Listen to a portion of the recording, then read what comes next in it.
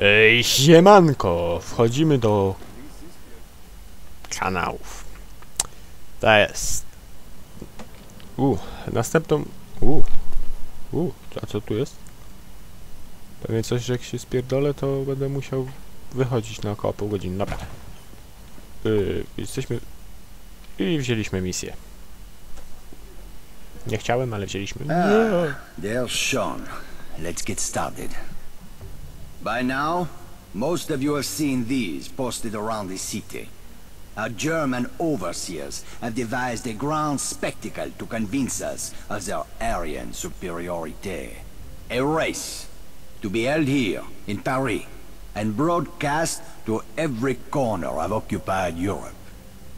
Several high-ranking Nazi officials will be in attendance, including General Eckhart.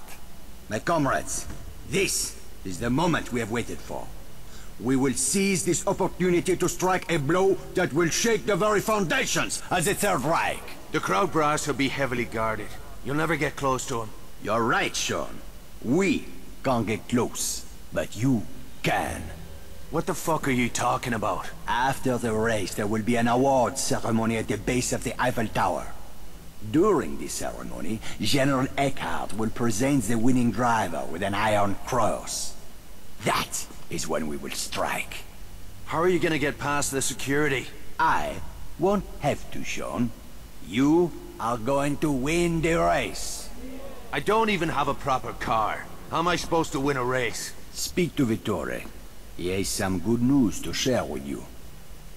And Sean, you may be interested to know that the Germans are placing bets on the winning driver.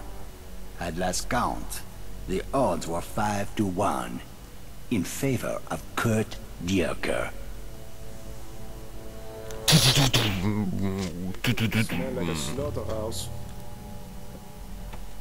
Mam zadanie od murzynów.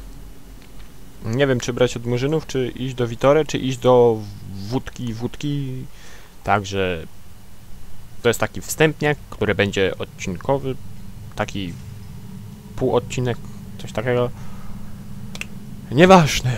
Biorę poboczne questy aż do wyczerpania i bez wyścigów oczywiście i widzimy się w następnym odcinku. Na razie.